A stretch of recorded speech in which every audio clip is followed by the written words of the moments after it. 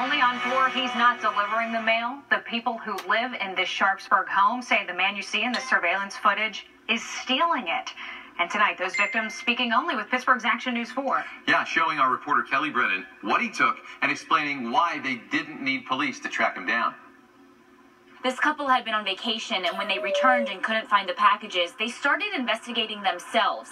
Then a neighbor showed them surveillance video, and they realized they knew the man who allegedly did this, and they say it's a man they trust. This is the surveillance video from 8th Street in Sharpsburg. We are blurring the person's face since charges aren't yet filed.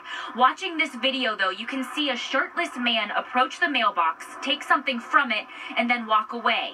The victims, Charlie and Dave, say they almost didn't believe it when they first saw this video because they say they know this man very well.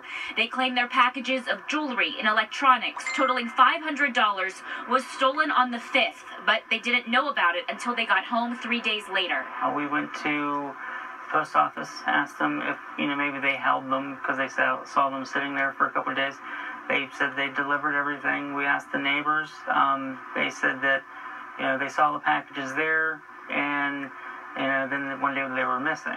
It's a whole mix of emotions. It's somebody we thought we could trust. It was somebody we considered a friend. The homeowners say Sharpsburg police, in large part to that surveillance video, were able to quickly solve this case, but police have not yet confirmed any charges.